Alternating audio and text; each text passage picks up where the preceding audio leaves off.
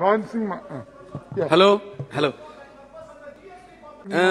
बहुत बहुत धन्यवाद उपसभापति जी क्योंकि समय का अभाव है और मेरी पार्टी को समय भी कम मिलता है तो बहुत बड़ी बड़ी लंबे लंबे भाषण हो चुके हैं। मैं उसको रिपीट नहीं करना चाहूँगा।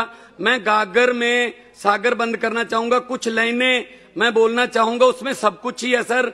मुझे उम्मीद है कि आपको बेल बजाने की ज़रूरत नहीं पड़ेगी। कृपया अगर ध्यान से सुन लिया जाए, देश की जीडीपी माइनस है।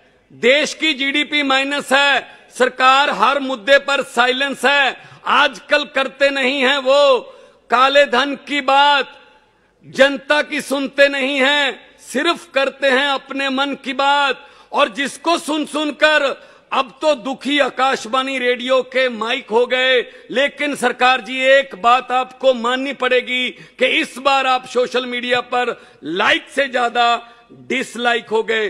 देश के बेरोजगारों पकौड़े तलो और भारतीय नस्ल के कुत्ते पालो। सरकार जी, अपनी हर योजना की नाकामी को कोविड के कंधे पर डालो। न तालियों से, न थालियों से कोरोना गया, न टॉर्च और, न, सर सर, न टॉर्च और मोमबत्ती की दिवालियों से कोरोना गया।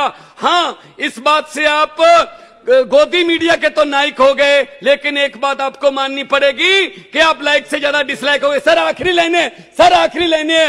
लोग कह रहे हैं कि प्लीज़ कंक्लूड सर कविता है। सर बीच में रहेगी सर सर सर लोग कह रहे हैं चाइना की तरफ़ से आने वाली असली गोलियों को रोकने का प्रबंध करो।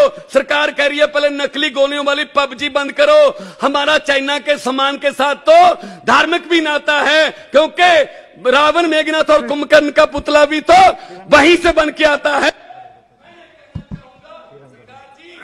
मान्य मान्य अध्यक्ष महोदय